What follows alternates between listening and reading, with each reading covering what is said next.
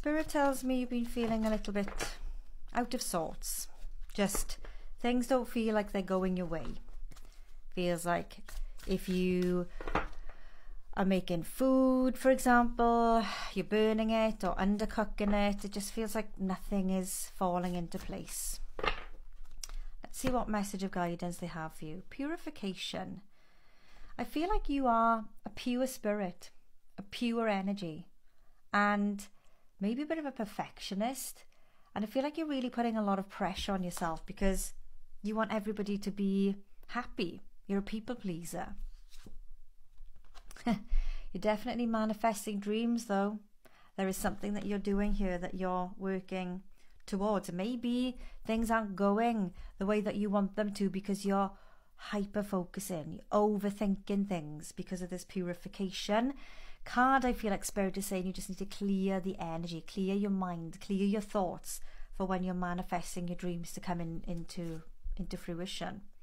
You're transmuting. You are the phoenix, the phoenix rising. This message of the phoenix rising is coming through a lot in today's readings as well. So transformation, believing in yourself, trusting in yourself, glowing up, transforming, phoenix rising.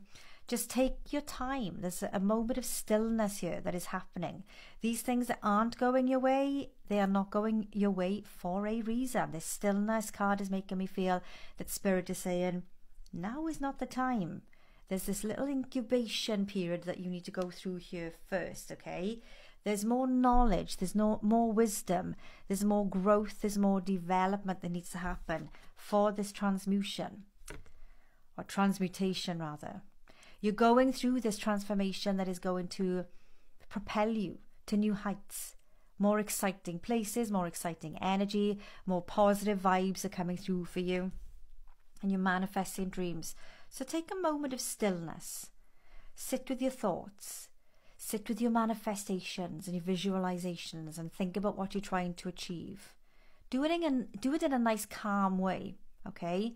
Don't try and manifest and visualize while you're juggling a million balls and you you know you're dropping balls because you're feeling like oh I got too much on my mind. Take some time out. Enjoy some moments of stillness. Sit with your thoughts because there's knowledge within you that can really help you when you've got this pure mind, this clean, pure energy around you to manifest yourself into this beautiful transformation that's going to be bringing in your dreams coming true.